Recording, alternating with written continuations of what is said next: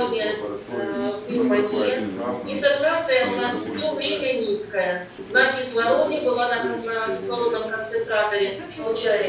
Самое повышал страшное это отрицание действительности. э, В первую очередь э, надо реально смотреть на э, ситуацию. Многие районы сегодня э, задыхаются от потока больных.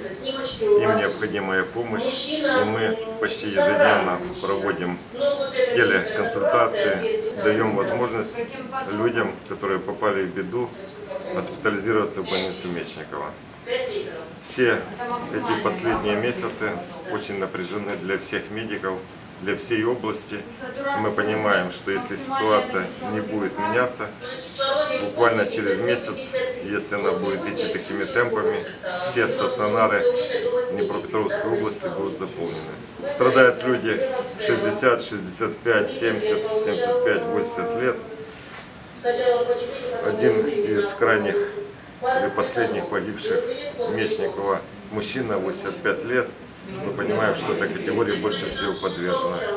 Сегодня необходимо решать уже вопросы иммунизации категории населения, которым 60 и выше.